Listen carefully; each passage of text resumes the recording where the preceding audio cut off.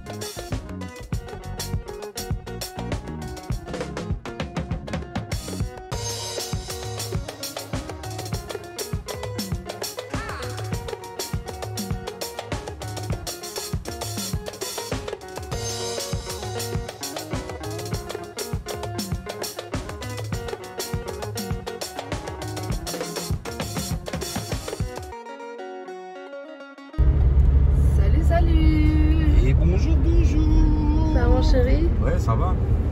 Il fait beau aujourd'hui Super beau. ouais. Oui, il fait beau, il y a du soleil, on vous filme les, beaux- les belles montagnes. Oui, la source de Mont Gerbier des Joncs. Non, Bon. c'est pas là.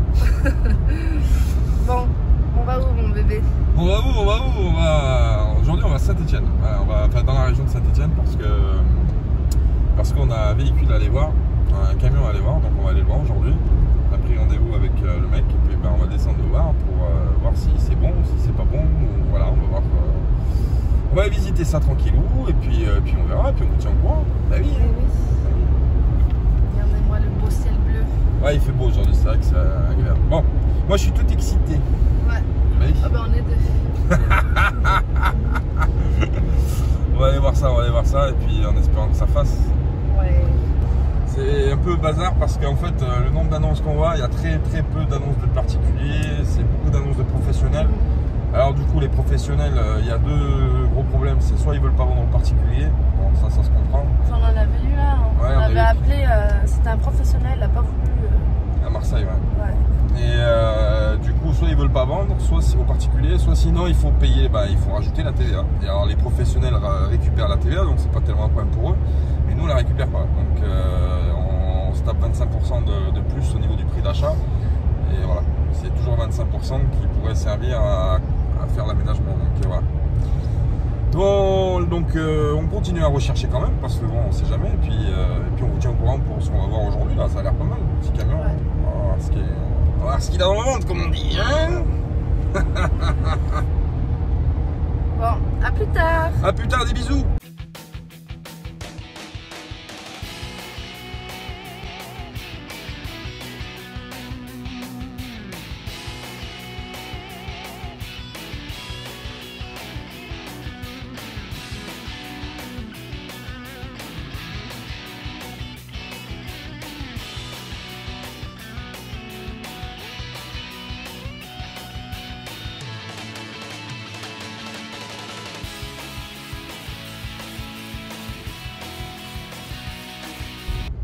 Fait bizarre de passer là. Je vous explique pourquoi. Parce que, bon, déjà, ça fait très longtemps qu'on n'est pas passé par là, par cette route-là. Mais euh, ça fait bizarre parce que, en fait, quand on est parti, euh, donc sur la toute première vidéo de la Mafia Nomade, on est parti donc direction, euh, bah, direction le, nord-est de la France. Et on est passé par là et j'ai filmé ce, ce morceau de route. On était dans le camping-car. Donc ça fait des souvenirs et du coup bah, vous pouvez retrouver la première vidéo aussi. Euh, Alors soyez indulgents, c'était notre première vidéo. N'allez pas me lâcher des commentaires de fou, de psychopathe ou des pouces en bas. hein. Non, je rigole. Non, alors ça fait super bizarre évidemment, c'est nostalgique parce que bah, du coup on est passé là et il faisait beau pareil, hein, c'était au mois de juillet. Ouais. Donc euh, on était tout heureux de partir parce que c'était voilà, c'était vraiment le départ. Donc ça fait vraiment bizarre de passer par là. Donc souvenir, souvenir. Voilà, c'était juste pour vous dire ça. Voilà, voilà. Oh. Eh on est sensible quand même. bon, ça c'est un joli Mercedes Actros. Mais c'est bon, on n'a pas le budget là, 80 000 euros. tu vas voir, avec une boîte en carton et, et trois pneus en plastique, on va te faire un machin digne des camping-cars américains. Et coucou Salut, salut. Bon, euh, chou blanc aujourd'hui, voilà, chou blanc. Alors, on est descendu voir ce véhicule, euh, bah ça le fera pas. Mm. Alors on n'a pas pu filmer parce qu'on a demandé au monsieur quand on est arrivé euh, si on pouvait filmer quoi. Ça passait sur YouTube. Il a dit non. Enfin il a dit non, il était pas super euh, super chaud donc on a dit on, on va pas insister. Donc on pourra pas vous le montrer mais bon, hein, on va vous expliquer un petit peu. Alors voilà, le véhicule, bon, dans l'ensemble, il était propre, correct. La caisse, c'est à peu près ce qu'on recherchait. Euh, par contre, derrière, euh, le premier point négatif, c'était euh, pas des portes qui se fermaient, c'était un rideau. Vous savez, comme les camions de messagerie.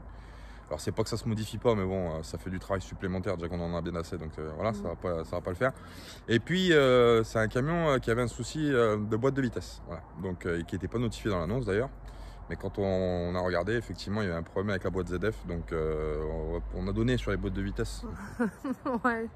US avec. avec Puis c'est euh, pas le même prix. hein. Donc voilà, donc ça fera pas. Bon, tant pis. hein, euh, il de toute façon, il faut aller voir les trucs pour trouver ou pour pas trouver, mais il faut, il faut y aller pour au moins déjà regarder ce qu'on trouve ou ce qu'on trouve pas. Voilà. Donc là, ça fera pas. On repart en recherche. C'est parti. Et puis, ben, on vous dit plus tard. hein, parce que de toute façon, euh, On vous tiendra au courant. il faut qu'on trouve. Sinon, on va partir comment? À vélo? Bon, allez. On vous laisse. On vous fait des gros bisous en tout cas. Et puis, ben, ma foi, euh, bah, tout à l'heure. hein. À plus tard. tard. Et bonjour à tous. Salut, salut. Alors aujourd'hui, on va vous faire voir quelque chose d'extraordinaire. On a fait des plans d'aménagement, ça fait un petit moment qu'on y regarde, hein, les plans. hein. On a nos fait- idées, quoi. Ça fait un petit moment qu'on sait qu'on va passer sur plus grand. Alors on vous parle souvent, on va acheter plus grand, on va acheter un poids lourd, effectivement. On l'a pas encore acheté parce qu'on l'a pas trouvé encore, mais euh, on, quand même, on, on commence à regarder euh, ce qu'on voudrait. euh, ça fait un petit moment qu'on y est dessus. Et c'est un peu comme la maison, hein, avant de creuser les premières fondations, il faut quand même avoir des plans pour savoir où on va. Donc nous, on regarde depuis un petit moment, on va vous montrer ça. Euh, alors on est parti sur une caisse de 7 mètres sur le plan, parce que c'est dans l'idéal ce qu'on voudrait. Après, euh, vu qu'on n'a pas encore trouvé le, le véhicule, si c'est une caisse qui, est un peu plus petite euh, ou un peu plus grande, eh ben, on modifiera les plans pour, bah, pour, euh, pour, pour aménager euh, selon la caisse qu'on aura trouvée. Quoi. Mais bon, il faut quand même se fixer. Ça permet quand même, alors, mis à part le, le fait de, de se dire, eh ben, on, a, on va gagner 50 cm, on va perdre un mètre, on va gagner un mètre, ça permet quand même de savoir cet aménagement-là, où c'est qu'on fait sortir les tuyaux, où c'est qu'on fait sortir les câbles, où c'est qu'on place les fenêtres, c'est qu'on place la porte, etc. Donc ça, quand même, ça donne une idée. Ouais, Il y a quand même ouais, un minimum d'organisation, même si c'est pas, comme tu dis, les dimensions voilà. exactes, mais au moins. Ça permet de, de- de poser Ouais. les bases déjà du, de, de l'aménagement. Donc euh, c'est pour ça qu'on fait ça. C'est pour ça qu'on va vous montrer ça aussi. Pour, bah, pour- vous pouvez dire ce que vous en pensez aussi, donner des idées. hein. On est preneur hein, parce que Mm. il y a plein de choses à faire. hein. donc euh, voilà.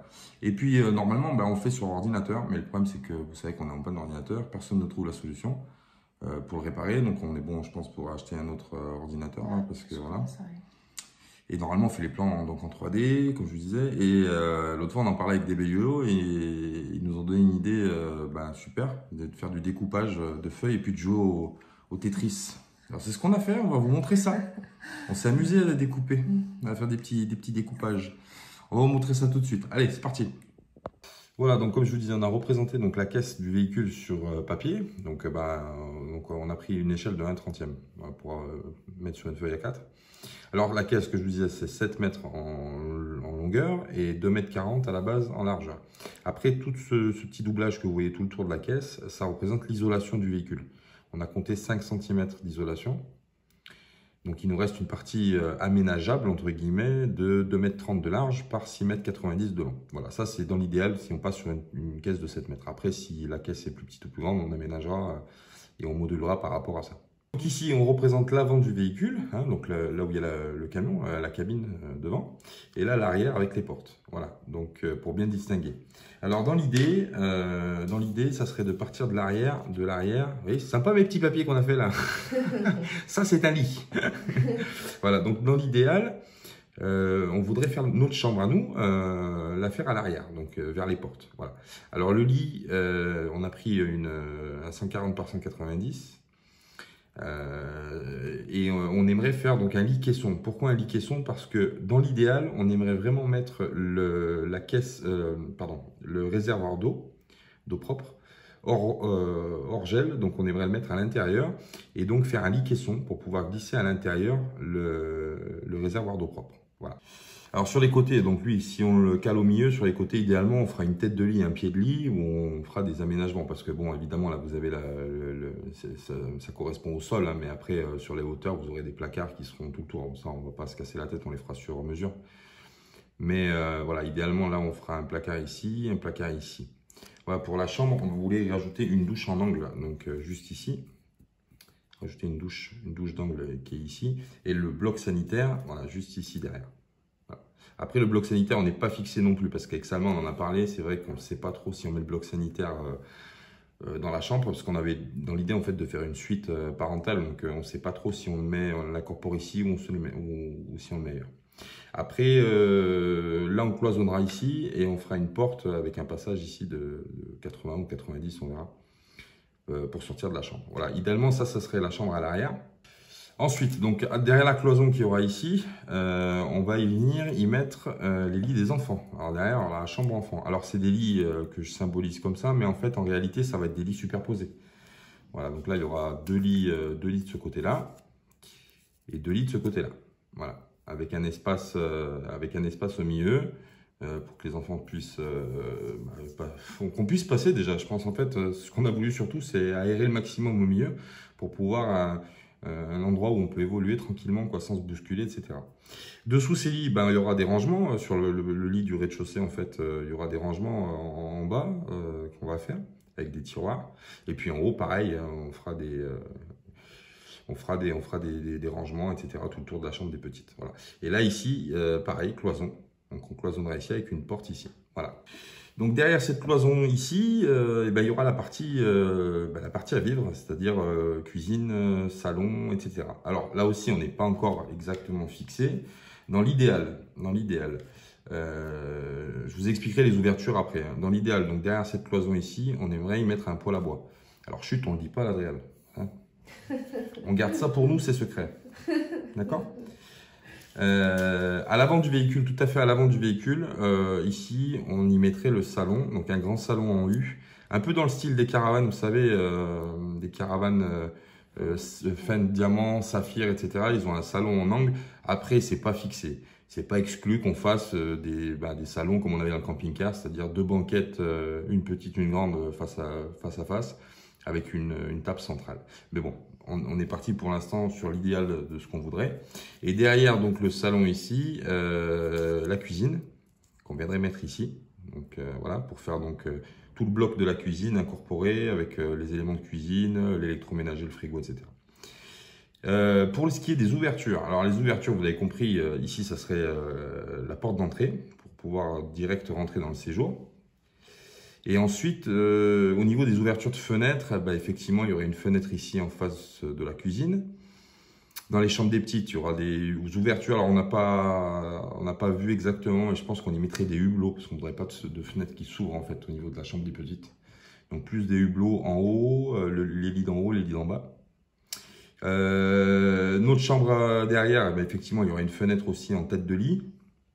Et puis, euh, si on met la douche comme ça, enfin, si on a cette configuration-là, il faudra aussi une, une aération douche pour, bah, euh, tout ce qui est humidité, euh, buée, etc. Vous l'avez compris, euh, on, a, choisi ce schéma-là. Pourquoi? Parce que, euh, vous voyez, au milieu, il y a un grand couloir. Ça rappelle un petit peu les bus. Hein, vous voyez, euh, on, travaille de chaque côté de, de chaque côté du véhicule. Alors, ça a deux intérêts. L'intérêt, c'est l'espace au milieu à vivre, qui est quand même euh, assez, je trouve, euh, intéressant pour naviguer à l'intérieur, surtout quand on est 6, on va être 6. Et puis euh, au niveau de l'équilibrage en fait des poids, bah, je pense que c'est pas mal de, bah, d'équilibrer, voyez, un peu sur les côtés du véhicule pour pas que.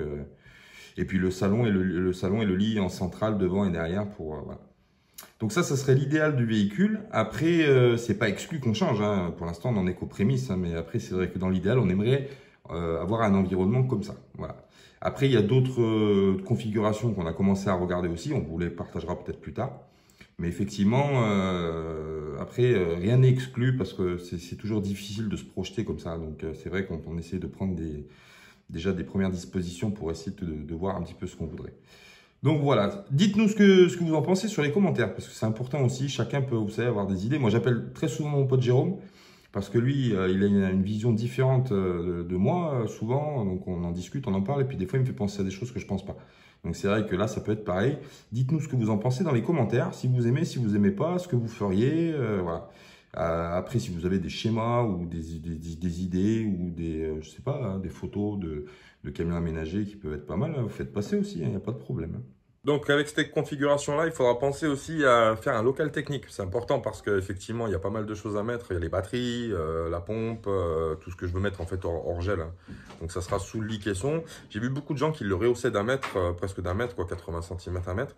Et en fait, l'avantage qu'on a avec ce camion, c'est que hum, vu que le lit est au fond vers les portes, bah, du coup, le fait de rehausser et de faire un caisson demi-fermé, ça fait que quand on passe derrière et qu'on ouvre les portes de l'extérieur, on a accès à ce caisson-là.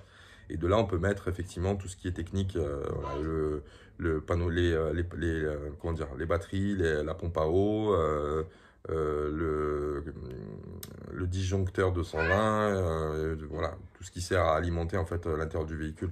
Et je trouve l'idée pas mal. Je l'ai vu sur je sais plus qui d'ailleurs, mais je sais que quelqu'un l'a fait et j'ai trouvé l'idée vraiment bien. Voilà, donc effectivement, je pense qu'on passera sur une configuration comme ça, mais après, il n'y a rien encore de défini. hein. Vous voyez, aujourd'hui, j'ai eu un, un véhicule qui est sorti, euh, bon, qui a des problèmes moteurs, donc on ne prendra pas, mais euh, il est sorti avec une caisse de 7 mètres 50. Donc rappelez-vous, on a fait les plans sur 7 mètres, ça nous laisse 50 cm de, de marge pour moduler un petit peu comme on a envie de moduler. Voilà, donc euh, bah, on vous tient au courant parce que là, de toute façon, là, c'est encore pas du concret, mais c'était pour vous situer un petit peu, pour vous euh, faire voir un petit peu le projet, parce que c'est important de... Nous, on sait où on va, on sait ce qu'on veut, mais vous, c'est vrai que pas forcément. Donc c'est pour ça qu'on a fait cette vidéo-là aussi, pour vous montrer un petit peu ce qu'on voudrait faire. Et puis, bah, si vous avez encore des idées, bah, vous faites passer. Euh, merci pour tous les messages. J'ai vu qu'il y a des gens encore qui continuent à envoyer des messages d'annonces, etc. C'est super sympa. Alors, c'est des messages que de- des annonces que j'avais déjà vues, mais c'est déjà super sympa de les faire passer et de partager. C'est cool. Donc voilà, merci à tous. Et puis, ben, je vous dis à bientôt. De toute façon, on vous tient au courant dès qu'il se passe quelque chose. Euh, Insta, et puis les vidéos, etc. Abonnez-vous si vous n'êtes pas abonné. Et puis, euh, des bisous à tout le monde. Et puis, on se voit bientôt. Allez, à ciao, ciao.